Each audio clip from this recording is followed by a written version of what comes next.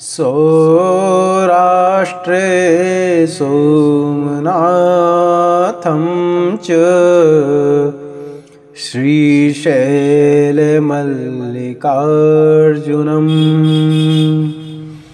उज्जैन्यां महाकाल।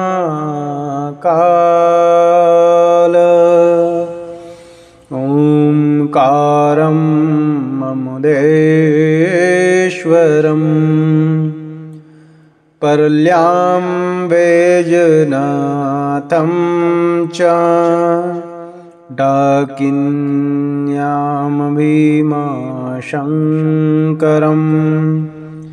सेतुबन्देतु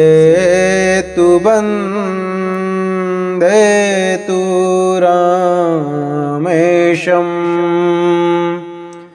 नागेशं दारुकावने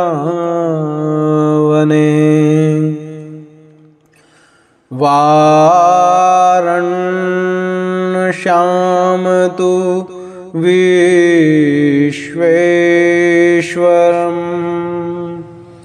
त्रयम्बकं गौतमीतटे हिमालये तु केदारम् गृणेशं च शिवालये।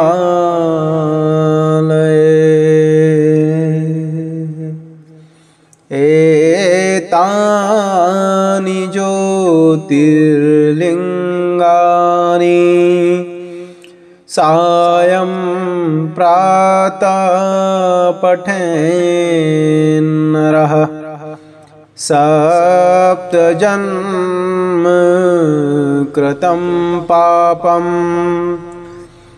स्मरेण विनश्यति।